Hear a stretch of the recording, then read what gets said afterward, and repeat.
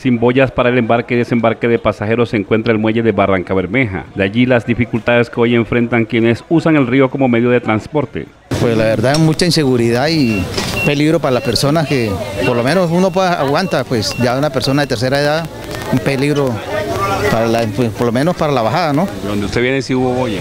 Sí, señor, en todo de Vijagual. Porque es lamentable que un municipio de esto con tantos recursos no, no se tenga una boya y nos expongamos al peligro de alguna manera de, en este momento que el río está crecido. Se conoció que Navelena retiró su muelle flotante una vez caducó el contrato de APP para la recuperación del río Magdalena.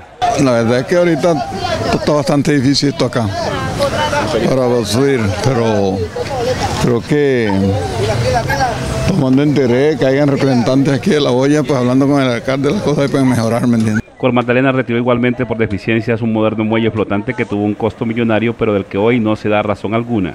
Mire el desperdicio de la de la de la del, del embarcadero ese que había ahí.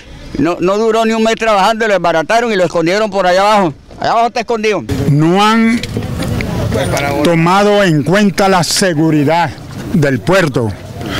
Porque, como usted lo sabe, Barranca Bermeja es un puerto importante y no le han puesto el debido interés.